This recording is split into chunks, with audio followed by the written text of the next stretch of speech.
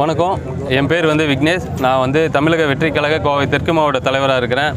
இந்த நாள் வந்து ரொம்ப எங்களுக்கு சந்தோஷமான நாள். என்னென்னா எங்கள் கட்சி அறிவித்த நாள்லேருந்து இன்றைக்கி தான் முறைப்படி தேர்தல் ஆணையத்தால் பதிவு செய்யப்பட்ட கட்சியாக வந்து தமிழகத்துக்கு மற்றும் ஒரு கட்சியில் மாற்று கட்சியாக சாதிக்கக்கூடிய கட்சியாக இன்றைக்கி வந்திருக்கு.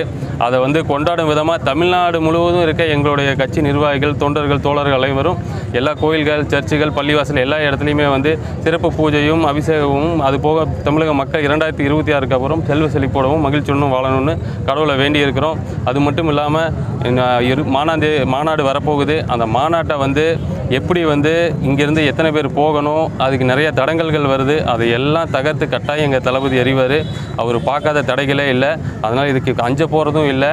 எங்கள் தளபதி என்ன சொன்னாலும் செய்யறதுக்கு நான் ஒரு பெரிய கூட்டமே நாங்களும் இருக்கோம். இந்த மாநாடு மிகப்பெரிய வெற்றி அடையிறதுக்கு இறைவனை வேண்டிக்கிறோம்.